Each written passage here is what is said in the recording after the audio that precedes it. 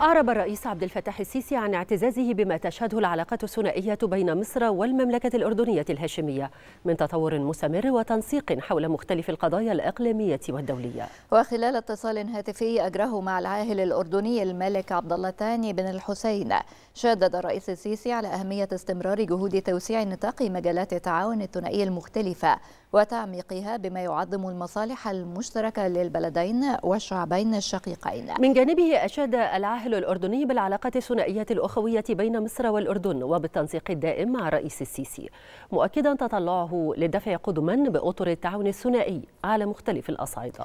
هذا وأوضح المتحدث الرسمي باسم رئاسة الجمهورية أن الاتصال يأتي في إطار التشاور المنتظم